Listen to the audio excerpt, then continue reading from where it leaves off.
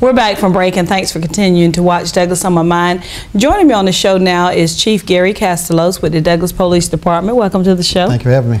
Glad you're here. Um, kind of sad subject that you have to talk about, but it's one that um, we are very glad that you all are bringing more awareness to this year, and that is the subject of domestic violence. If you would just kind of share with everyone what is domestic violence and what um, constitutes an incident. Okay. Well, uh, just to, to, start off, this month is deemed Domestic Violence Month. Mm -hmm. uh, it's uh, same time every year, uh, and we really try to go out there and promote uh, knowledge of domestic violence. But basically, domestic violence is any felony, uh, commission of offenses such as battery, simple battery, simple assault, stalking, unlawful restraint, as well as other misdemeanor charges. But it has to be specifically tied to an incident involving uh, past or present spouses, mm -hmm. uh, parents and children, step parents, step children, uh, persons living or formerly living in the household. Uh, if, if, it's related to those, then it falls under the state's uh, statute for domestic violence. What are some of the different forms of, of, abuse that we can name specifically that people go through and experience in the home? Because um, some people may say, oh, I'm not going through domestic violence, but what, what are some of the things you typically see and hear of? Yeah, the problem with most people when you, when you hear the term domestic violence, they automatically assume it's beating someone. Mm -hmm. That's just one type of abuse. I mean, mm -hmm. obviously the physical abuse is there, but you mm-hmm. have the emotional abuse. Right Right. Uh, you have the psychological view, abuse as well as there's also sexual abuse. Mm -hmm. Those are the four main types of abuse that falls under uh, the domestic violence where the, the batterer tries to get control of mm -hmm. the mm-hmm. victim.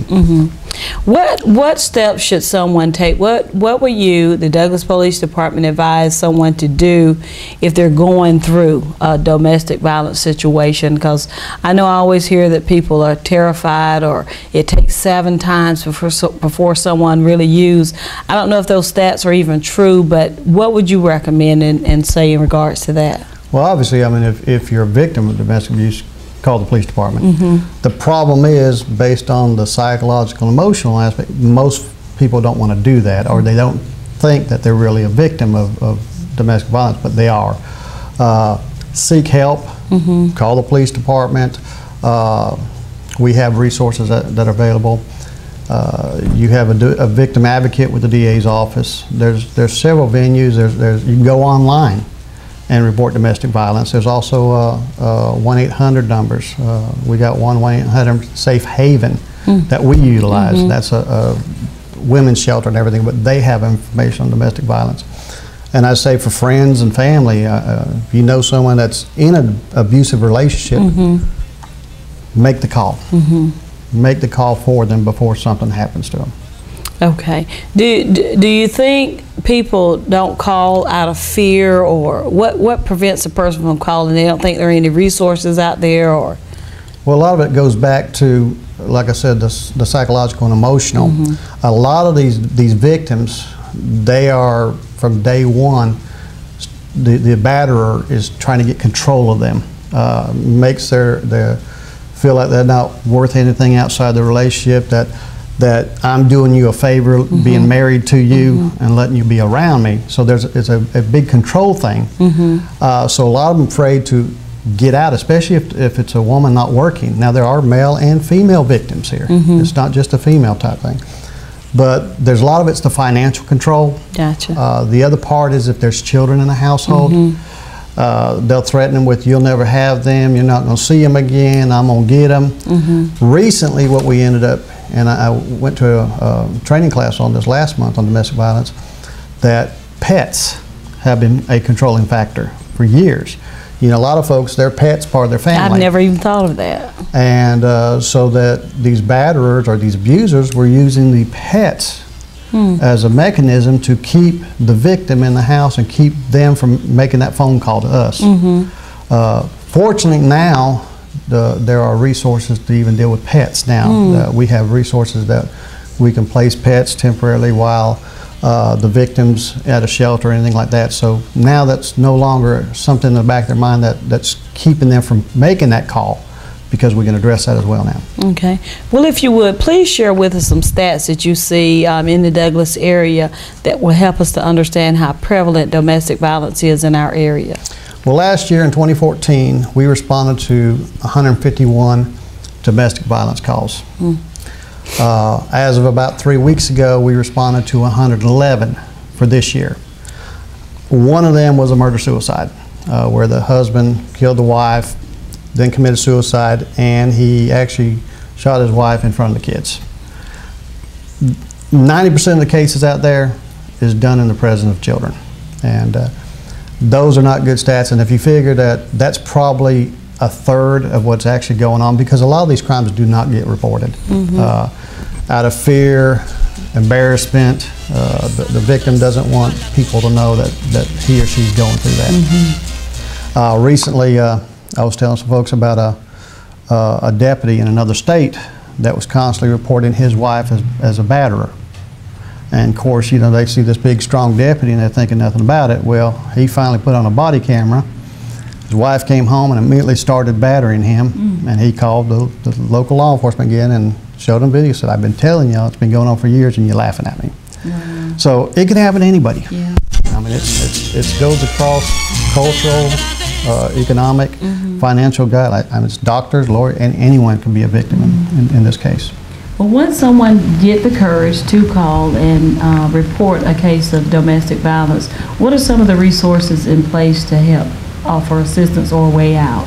Well, like I said, one of the easiest things to do is contact your local law enforcement agency. Uh, we have uh, different information available to us, phone numbers to, to utilize. Another good resource is every county uh, district attorney's office has a victim advocate. Uh, he or she uh, has uh, phone numbers and information uh, to go to. We also, whenever we, we respond to call by statute, we have to give out an information pack uh, to victims of domestic violence. Uh, and it has that information as well as some uh, toll-free numbers to call and some websites to contact. You can also go online and just type in domestic violence on search, and it will pull up uh, quite a few uh, websites that you can click on and report uh, this to and, and get assistance. Department of Fa- Family and Children Services also offers uh, a lot of assistance. Uh, we also here locally, we have the Children's Advocacy Center. Uh, they have information uh, to access the Magnolia House in Waycross as well as uh, other areas to deal with that. And also to go along with that, the Victims Advocate with uh, the county here as well as other counties throughout the state can also help with uh, some financial issues. uh, uh, If there's medical costs involved, uh, restitution, stuff like that, they have the forms and they'll take that and help prosecute it through court. Okay, okay.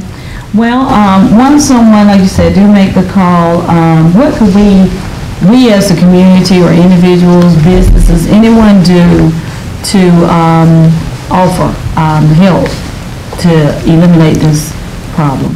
Well, a lot of us, like I said, a lot of these, these uh, these victims, uh, they're worried about financial help, uh, medical costs, raising children and everything like that. So they, they have costs and they're looking for ways to help. That's another reason, like I said, why they don't report it. Uh, as a community, uh, one thing we just have to do is not tolerate it. If you see domestic violence act or you got knowledge of it, report it. Uh, you can remain anonymous. We, I mean, we tell folks call our tips line, uh, call 911, call our non-administrative, call victims advocate. You call DFCS. Any of them, they're going to report it. If you go to the hospital and they feel that you're a, a victim of domestic violence, they're going to automatically notify law enforcement. They're required by law as well to do that. But as a whole, the community just needs to take a stand and, and not tolerate it, uh, report it when they see it. Right. One thing I didn't mention, and one of the big fears years ago was the victim did not want to be the one to prosecute it. The victim had to make the case. Georgia changed their statute years ago where the officer, if they have probable cause, makes the case on the scene. That takes the burden of prosecution off the victim, mm-hmm. so they no longer feel like they're the one doing it, mm-hmm. the state's doing it. Mm-hmm. You often see repeat, I, I'm sure you do, but repeat cycles whenever you get a call, going back, is, is that at the point when the officer would get involved and make the report after you have answered a call several times? Well, no, we, we do a report on the first time. First time. uh, you, you have a- an episode in the, in the domestic violence. You get the honeymoon phase, the love and respite phase, and then the battering phase. Typically, we get involved in the battering phase because that's when we get the phone call. We do a report on every single domestic violence call we get. If there's probable cause to make the arrest, meaning if we see beating or bruising or, or the house is tore up and everything, we will arrest the primary aggressor. Okay, okay. Well, um, one thing that you all are doing, the Douglas Police Department, um, so during this month, as you said, it's also Breast Cancer Awareness Month. I think it's National Bullying Awareness. Month and domestic violence, and maybe some other things going on this month too. But to me, domestic violence does not get as much attention as it needs. So I'm very, um, I commend you all for putting together a workshop that's coming up. And if you would, kind of tell everyone about the workshop, the purpose, and what you're trying to achieve through it. Well, uh, we did some talk this, this, earlier this month and and decided to put on a domestic violence workshop for the general public. As law enforcement, we go through annual training on domestic violence, uh, but we felt the need to kind of get some information out there and make the public more aware about the problems, especially in, in light of the recent murder-suicide we had.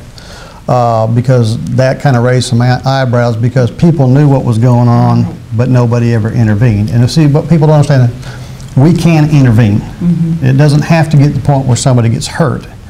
We can, as law enforcement agency working through the judicial system, intervene and let that victim get help before it gets to the point where they're, Yes, they, yes. he or she is, is, is battered or, or beaten or even killed. Uh, so we decided to put on this workshop. Uh, it's going to be this Thursday from 6 to 8 p.m. at the Ware Center, open to the public. Uh, we're also providing a meal so that, that people can come there and eat and not have to work, Right, be right. running there.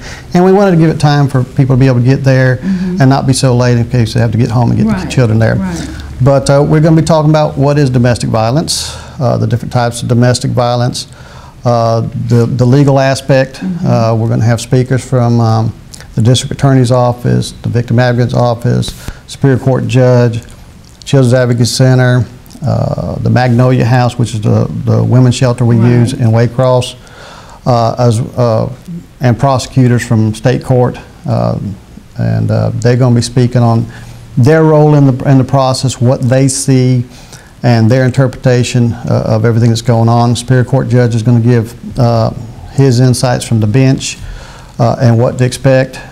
Probably talk about uh, protection orders, because that's another avenue available for folks, is get that protection order to to separate them and give them protection from that batter and everything. Uh, As well as we got a- a, han- a packets that we're giving out uh, with a lot of information, phone numbers, Right, websites right. for, for them to take back. And even if they're not a victim of domestic violence, they can come, get this information, because I guarantee they know someone that is. That's true. Uh, Co-workers, family members, uh, they know somebody. Get that information, take it back and, and, and pass it on to them, or even make the call for them. But that's, that's where we're at. It, it's, it's getting the information and maybe we can intervene in, in a, in an abusive relationship right now and keep from what happened last month happening Yes, again. Yes, we definitely don't want tragedies like that in the community. Um, well, I, like I said, I commend you all for the workshop, and that is this Thursday, 22nd, from 6 PM to 8 PM at the C.E. Weir Center, located at 307 East Bryan Street. It's a free workshop, and as you said, many from the local judicial system will be there. Yes. And, um, the Magnolia House providing, uh, resources and information. So, um, do you have a need for people to help sponsor this event? We are looking for sponsors. Uh, Like I said, this is the first time we've done this event. Um, It's not a budgeted expense for us and everything, so we are looking for sponsors right now. Uh, to help out uh, with the food as well as as other items related to it. Uh, And again, we want to make this an annual event, Uh, so we will hopefully, out of this, this first one, be able to form some partnerships and continue to do this every year at the same time this month uh, to, to keep it, the word going and, and keep fighting for the domestic violence. Because like I said, even 111 this year, that's way too many. Yes, I, I wish we didn't have to respond to any Right. domestic violence because uh, it's just, just something that affects the community, the, the children, uh, the pets, the, the the victims. It, it goes across the board. Family members, they're all Mm-hmm. affected by it. Uh, and, and it affects the community as a whole. Okay, all right, so if someone wants more information and um, on how to sponsor or some tips or call the tip line, give the number and contact information if you will, and Well, what's your call. We're funding most of these calls through the uh, call center. Okay.